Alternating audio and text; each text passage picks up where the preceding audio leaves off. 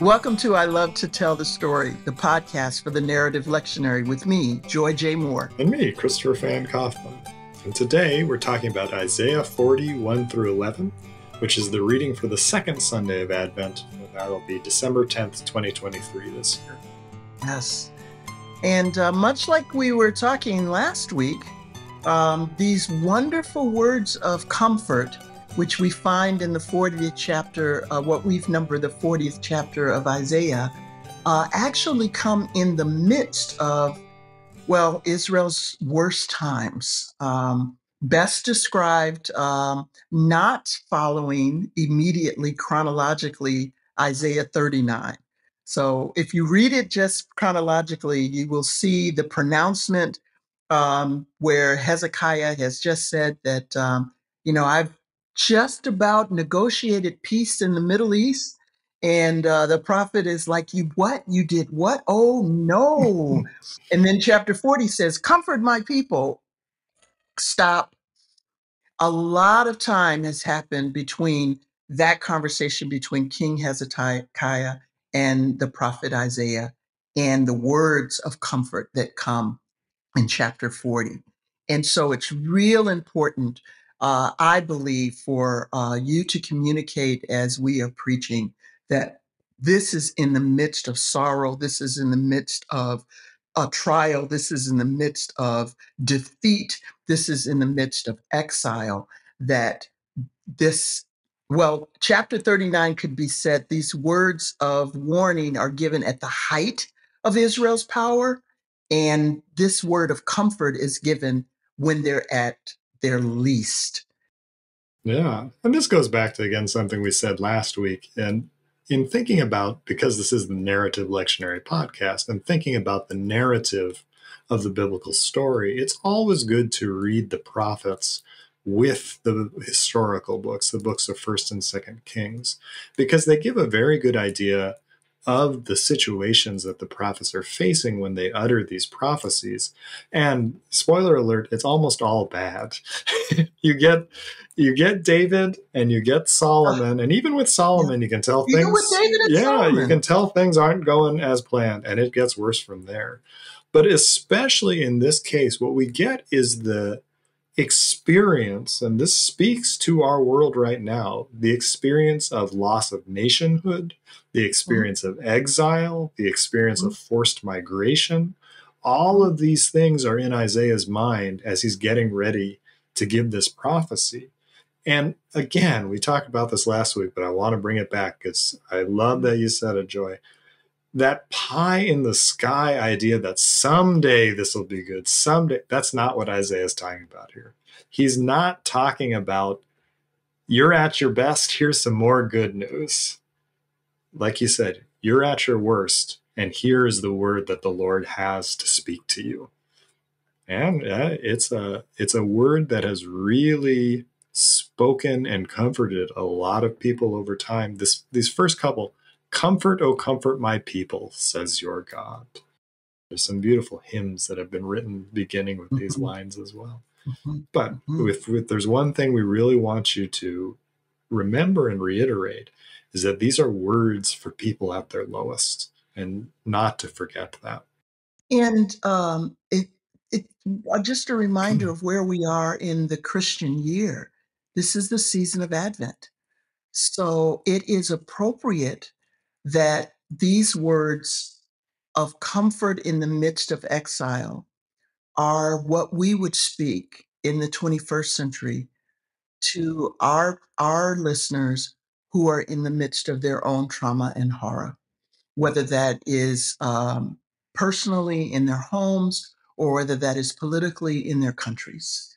And um, the message is to speak tenderly. To speak tenderly. How often it is that, you know, we want to point the finger and say, you got yourself into this mess um, and you shouldn't be here in the first place. But that's not the text of this week. The word here is speak tenderly and to let the people know that the valleys will be lifted up, the mountains will be made low, the uneven ground will become level. This is a geographic description that we can metaphorically understand. The heights can sometimes be overwhelming. I can't climb this mountain, mm-hmm. and the lows can be so depressing. I just want to give up.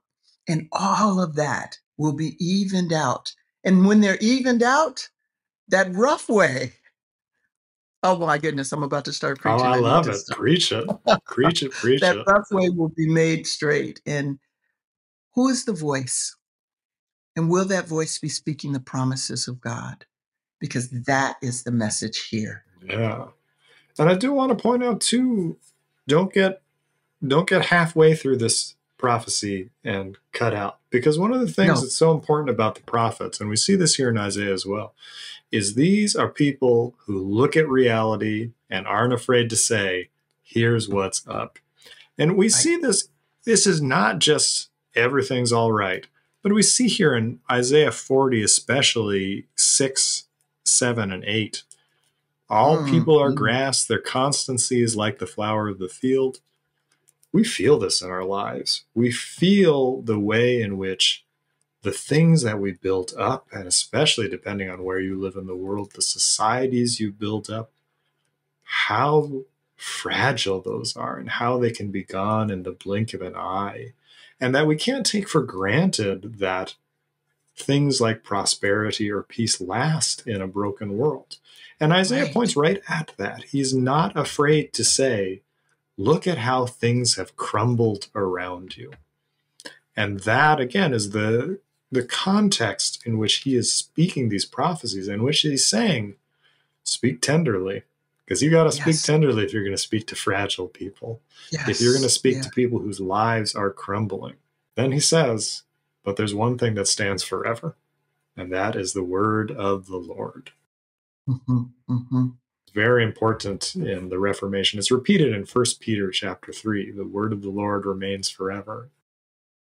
Becomes something that the reformers staked their lives on, was that the word will remain. And that that image of being cared for by a shepherd, by a mother. That's that that's a powerful image when you're when you're broken and lonely.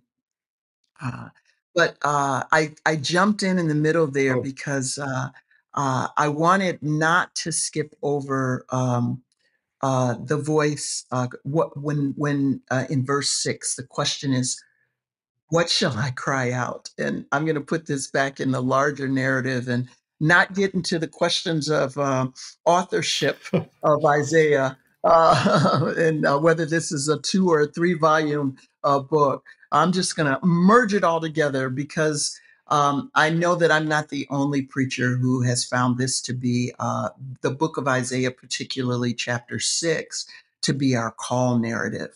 Uh, who will go for us and whom shall I send? And uh, we say, Here am I, Lord, send me. And what you said a moment ago about not stopping midway, um, Isaiah is clearly written where if you stop midway, you will miss some very important things. So you took us beyond so that what is it that you are speaking tenderly and why is it that you need to speak tenderly and what is it that you are speaking?